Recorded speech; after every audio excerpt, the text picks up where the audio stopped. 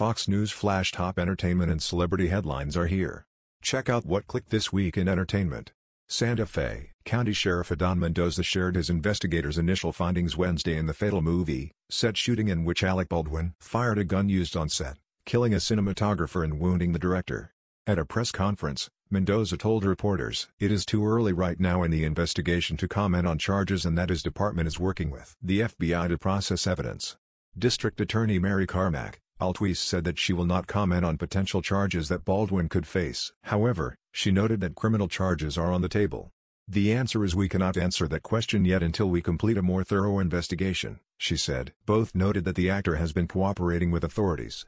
A rep for Baldwin did not immediately return Fox News' request for comment. Baldwin shot and killed Hutchins on Thursday after he was handed, what he believed to be, a cold gun by Assistant Director Dave Halls. The Assistant Director had indicated to the actor that the gun was unloaded, according to a search warrant executed by the Santa Fe Sheriff's Office and obtained by Fox News. Alec Baldwin was not asked to stay in New Mexico during Rust movie investigation. Police The incident also injured director Joel Souza. He was hospitalized at the time but later released.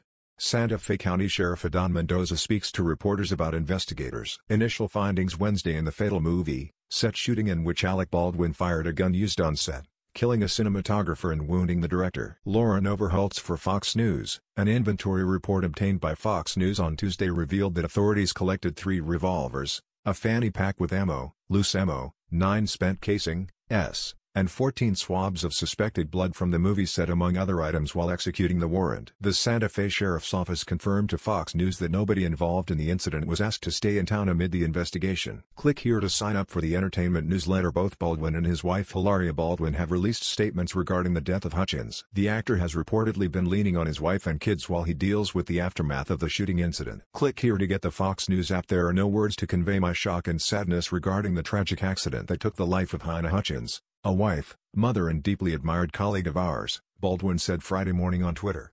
I'm fully cooperating with the police investigation to address how this tragedy occurred and I am in touch with her husband, offering my support to him and his family. My heart is broken for her husband, their son, and all who knew and loved Halyna, the actor concluded. The Associated Press contributed to this report.